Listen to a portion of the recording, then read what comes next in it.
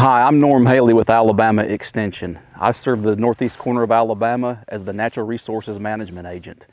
And we're here today back on site at the Graham Farm and Nature Center at our old field demonstration area. We have two four and a half acre demonstration sites here that we have sprayed back in the November December timeframe to remove the cool season perennial non-native fescues that dominated this, uh, this past year, this old previous uh, pasture area. Uh, and it's time to burn it. We have some heavy thatch here, uh, reducing the seed bank a little bit. Uh, we waited as long as we could to come back out here, burn this thatch off, remove it so we can really spur on the hopeful native seed bank that's below this uh, previous uh, fescue pasture. Uh, we waited late. You can see there's some topography here. And the reason for that is when you remove this thatch, you do run the risk of a little bit of erosion. By removing this as late as possible, mid-April where we are now, we reduce the erosion aspect, really have a lot of uh, green growth coming on as our soil temperatures warm up and, and allow that seed bank to respond to hold the soil.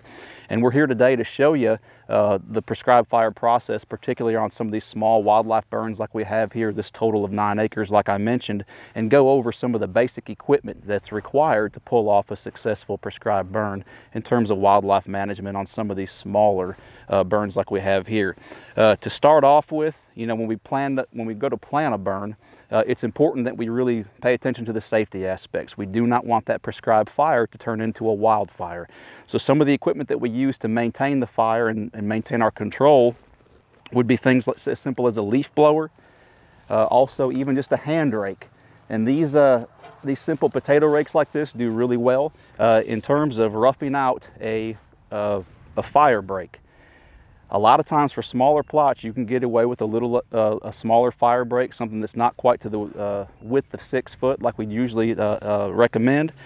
A leaf blower can very easily blow out small areas in small prescribed fires in woodlots, uh, even on some small sites like we have here today around a pasture. If we have some debris, like on this road we have here below us, this gravel trail, if we see some debris, we can quickly blow it out with the leaf blower or also just rake it away with the potato rake.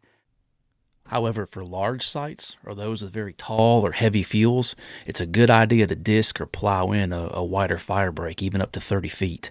And we can certainly achieve that with a tractor and a three point hitch and disc uh, drug back and forth to disrupt that fuel layer and contain the fire.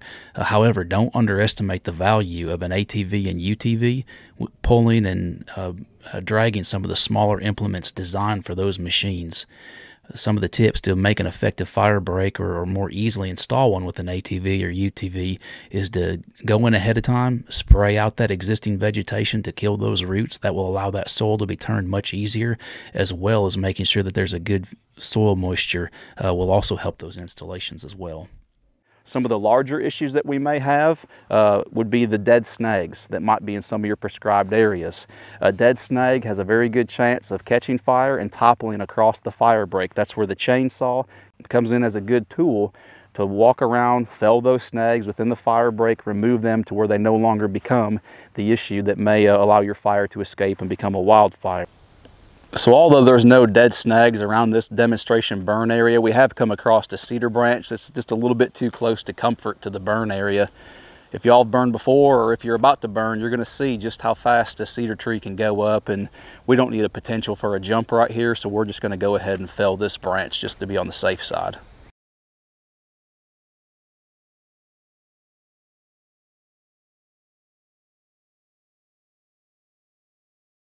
Of course, if you're running the chainsaw, uh, you'll want uh, some good chaps, proper safety equipment, hard hat, ear, ear muffs, uh, gloves and things along those lines. Ear protection, very important for these large uh, leaf blowers also. They can be quite noisy. It's very important when you're on a fire to have this equipment available. Uh, even though you may think that you've uh, properly you know, contained your fire breaks and things like that and prepared them, it's always good to have these on site with plenty of gasoline, able to run these equi uh, equipment for the long periods, especially for some of these longer burns. You may find yourself having to refill. Important to have enough gas on hand. Uh, you'll wear gloves throughout the fire, raking and running uh, other equipment can be uh, pretty hard on the hands, so have a good pair of gloves. And it's important to keep care of your personnel or yourself if you happen to be the only one on that fire, if it's small enough just for you. Plenty of water, uh, snacks on hand, things like that. Keep your crew in, in good shape, well hydrated and, and, uh, and well nourished to where they don't become tired and you know, essentially become a harm to themselves or a, a liability on the fire or even to, even to others for that matter.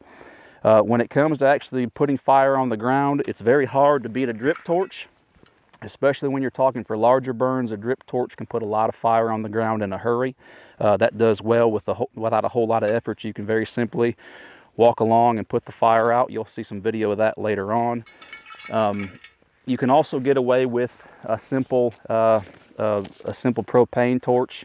Um, will do well also for smaller burns, but the, it's hard to beat the drip torch for a for an easier uh, application of fire to the ground. Before we put that fire on the ground though, I can't stress the importance of a proper burn plan enough. In a burn plan, you are uh, going to list your burn permit in Alabama. The Alabama Forestry Commission has a telephone number and also a, a, website that you can go to that helps to outline the requirements for the burn permit. You'll need to know the exact location and, uh, and, and uh, closest address and things like that as you call up the Forestry Commission. On this burn plan, we've got our burn site, our burn permit number, and things along the lines of the purpose or goal of the permit. Today, it's to reduce this fine fuel, remove the fescue from the landscape, and spur on that native seed bank that's listed right here in terms of wildlife enhancement. A description of the burn area, as far as the surface acreage, the topography, uh, fire break locations, uh, also the way you're going to light this fire. Today we're going to get through uh, very easily without a whole lot of effort with, uh, with a backing fire. Uh, and then also the description of the forecast. Weather plays an enormous role in the success or failure and even the safety of a prescribed fire. And that could be the difference between uh, reaching your goals or not and everyone coming home safe or not. Also keeps care of neighboring properties, smoke dispersion, things like that. All very important considerations with a prescribed fire. Also, I've got on here a, a, a, nice equipment list. That way we don't forget anything, nothing gets left behind. We make sure that we have the equipment available for us that day. Crew information, a checklist, and whether the conditions are right or not, everything's met also an area for notes and the emergency contacts such as the volunteer fire department that's most local here. It's important to contact those folks first. They're probably going to get some uh, phone calls regarding there's a fire on, on the Graham Farm and Nature Center. Y'all got to rush over there. And if I've called them ahead of time, I can save that equipment, save that effort in case someone actually does uh, have a wildfire need. That, that fire uh, crew isn't here on site having to having to you know report to a false uh, a false wildfire. And then I also have my permit information on here. Like I, I mentioned earlier, you'll get through the Forestry Commission. So once your burn plan is met, um, there's some other equipment that you'll be using on site that day of outside of just the, uh, the equipment that I've already talked about. If you're going to do a lot of prescribed burning, it's very nice to have one of these little fire or weather meters. Uh, this particular one is made by the company Kestrel. It tells us a lot of information in terms of wind speed, local humidity and conditions, uh, temperature, elevation, things along those lines. You can record a lot of useful information for your burn plan with one of these Kestrel units. Also on site the day of, it's a good idea to have a rake. Sometimes we can have roots run and fires pop up that we can quickly rake out and remove debris with a good stout heavy rake and, and hoe combination like we have here. As far as fire maintenance and control, uh, we have a tool here that's known as a flapper uh, that's somewhat inappropriately named. We do not flap fire, fires with this. We can go around and, and mop up fires and put fire where, or put fire out where we don't necessarily want it going to just by simply smothering the fire. It's good to have flappers for that personnel. Today we'll have two folks on this, on this burn, so we'll each have a flapper available to us. Also in terms of fire maintenance and, and mop up at the end of the day, uh, a backpack does really well uh, to put out small little areas, as does a, a UTV style spray tank. And we'll have a, a UTV on site as well as a tractor that's rigged with a spray tank. And um, that's essentially the basic equipment that you'll be utilizing throughout the day on a prescribed fire, both in, in preparation, the day of, and, and after the fire is uh, complete for that, for that uh, prescribed burn at that time. So today's a classic example of really monitoring your burn conditions, making sure that you're doing things the right way and according to the burn plan. We've had to mo modify our burn plan. Uh, the forecast yesterday for the burn weather said we'd have a nice west wind at 5 to 10.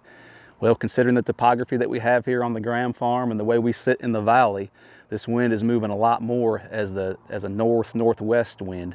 Uh, so we've modified the burn plan. It doesn't prohibit us from doing the burn, but we've you know, modif modified the plan, told personnel about it. Everyone's on the same page and we're ready to light our backing fire moving here more from a north to south orientation instead of from a east to west.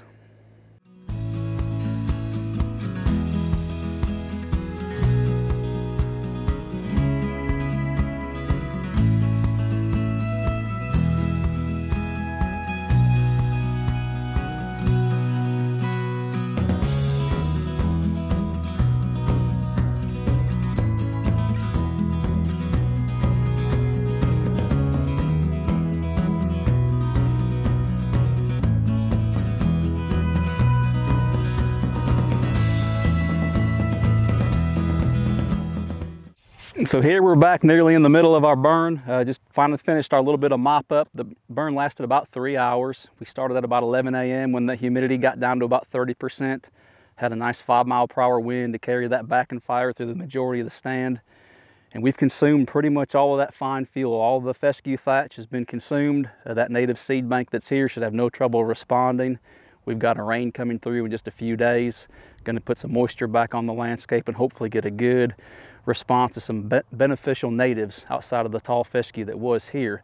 Um, we're in the middle of the plot here. This, this first uh, section here is going to be burnt on about a one to two year rotation. And you can see the fire break uh, beyond me there. That next piece there, that four and a half acres will be burnt on a three to six year rotation. That allows for a little bit different vegetation type, a little different fire interval, gives different cover and, uh, and uh, structure to the landscape that both turkey and white-tailed deer will both greatly benefit from. Thank you.